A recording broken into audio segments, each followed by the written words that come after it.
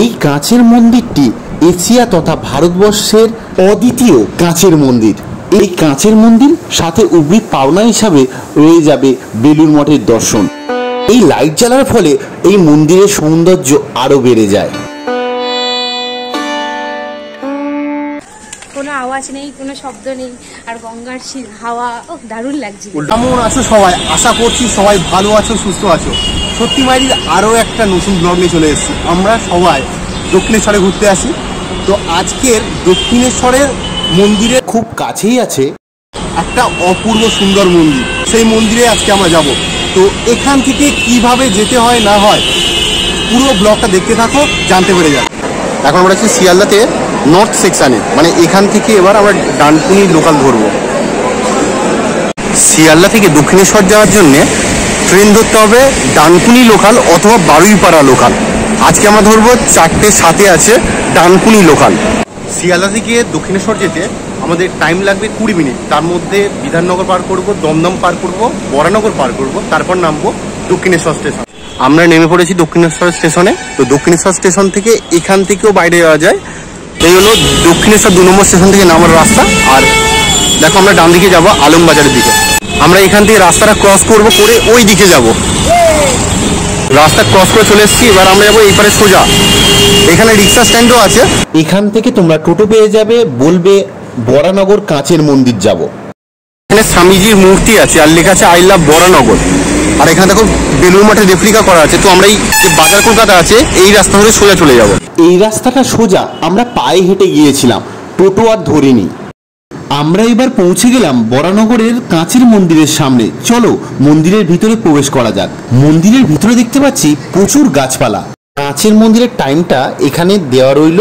তোমরা একটু পজ করে দেখে নিতে পারো। আমরা ভিতরে প্রবেশ করে বাঁদিকে দেখতে পেলাম মন্দির সম্পর্কিত কিছু তথ্য। মন্দিরে প্রবেশ করে ডান দিকে গেলাম। ডান দিকে দেখতে পেলাম দুটি শিব ঠাকুরের মন্দির রয়েছে। এখন যে মন্দিরটা দেখতে পাচ্ছ, এটার নাম বীরেশ্বর। আর এই মন্দির দুটোর মাঝে রয়েছে দুটি নন্দী মহারাজ।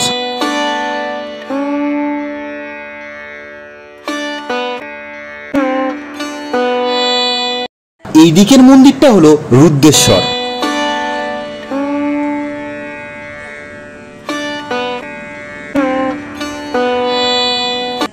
মন্দিরের এই সামনের যে সবুজ বাগানটা রয়েছে, এর পিছনেই রয়েছে গ্লাস মন্দির। দেখো এখানে গ্লাস মন্দিরে যাওয়ার সাইনও দেওয়া রয়েছে। বাগানটার পিছনে রয়েছে একটি বড় খাঁচা, আর সেখানে রয়েছে অনেকগুলো পাখি।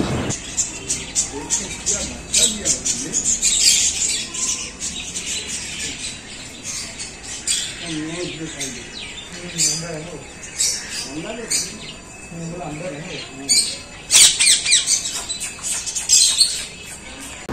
কাঁচের মন্দিরে এবার প্রবেশ করব।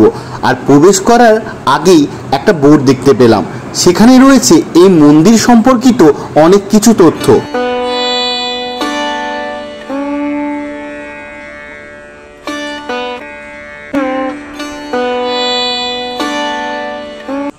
আমরা এবার চলে এসেছি কাঁচের মন্দিরের সামনে। আর এই মন্দিরটি প্রতিষ্ঠা হয় উনিশশো সাতষট্টি সালের তেরোই মার্চ এই মন্দিরটা প্রতিষ্ঠা করেন শ্রী ঠাকুর সত্যানন্দ দেব। এই কাঁচের মন্দিরটি এশিয়া তথা ভারতবর্ষের অদ্বিতীয় কাঁচের মন্দির। এই মন্দিরের ভিতরে রয়েছে মা কালীর মূর্তি এবং সারদা মায়ের ও রামকৃষ্ণ দেবের মূর্তি।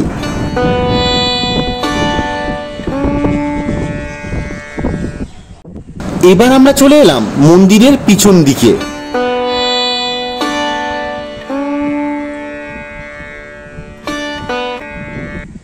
মন্দিরের পিছনে এসে আমরা দেখতে পেলাম, এখানে রয়েছে স্বামী বিবেকানন্দের একটি ছবি এবং ঠিক তার পাশেই রয়েছে শ্রী ঠাকুর সত্যানন্দ দেবের একটি মূর্তি।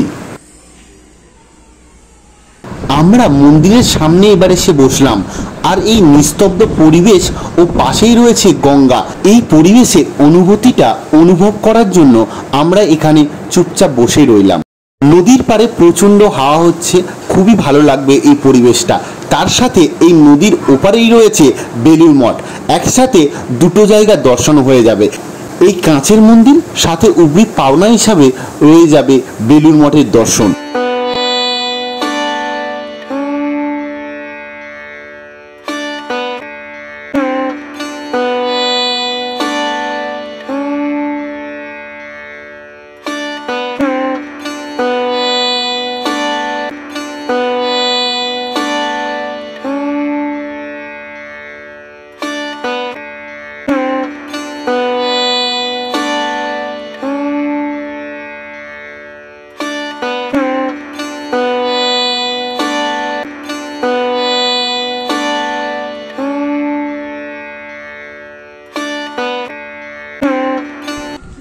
রাতের বেলা মন্দিরের ভিতরে যখন লাইট জ্বলে ওঠে, তখনই বোঝা যায় এটা সত্যি অদ্বিতীয়।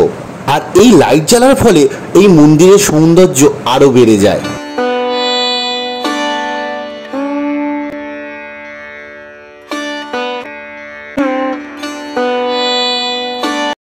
এই কাঁচের মন্দিরের সামনে টোটো স্ট্যান্ড আছে, তো আমরা টোটো স্ট্যান্ডে থেকে টোটো ধরবো না, এখান থেকে আমরা ডাইরেক্ট এই রাস্তা ধরে হেঁটে চলে যাব দক্ষিণেশ্বর স্টেশনের দিকে। আমরা এবার স্টেশনের দিকে হাঁটা মারলাম। আর টোটোয় উঠলাম না। মন্দিরটা খুব সুন্দর। বেশ নিরিবিলি কোনো কোনো আওয়াজ নেই কোনো শব্দ নেই আর গঙ্গার হাওয়া ও দারুণ লাগছিল। উল্টো দিক থেকে তোমাদের দেখালাম যে বেলুর মঠ দেখা যাচ্ছে। হ্যাঁ। সেটা বেশ খুব ভালো লাগল। কিন্তু এত রাতে যাওয়া যাবে না বেলুর মঠে গেলে ফিরতে প্রবলেম তো চলো এখন স্টেশনের দিকে যাওয়া যাক। আমরা ঘুরে চলে এলাম দক্ষিণেশ্বর স্টেশনে। তো আজকের ব্লগটা তোমাদের কেমন লাগল? নতুন জায়গার খোঁজ দিলাম। যদি ভালো লেগে থাকে তো ছেড়ে যাওয়ার আগে please like comment share and subscribe করে দেবে।